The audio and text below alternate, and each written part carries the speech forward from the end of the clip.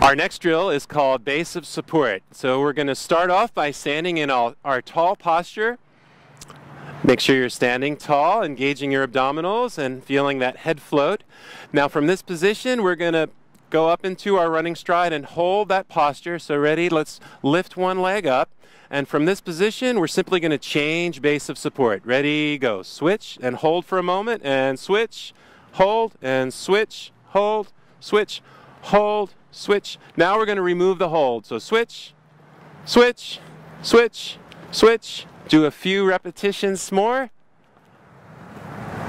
And rest. Excellent.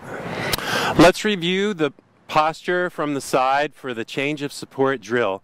So standing in your tall spine, go ahead and raise one leg up. We're going to raise the right knee up. And from the side, you can see that the runners have the ear over the shoulder. And then the shoulder is over the hip, and the hip over the ankle. And from this position, then we're going to change sides. Ready? Go ahead and switch. Good. Hold for a moment and switch again. And one more time. And rest.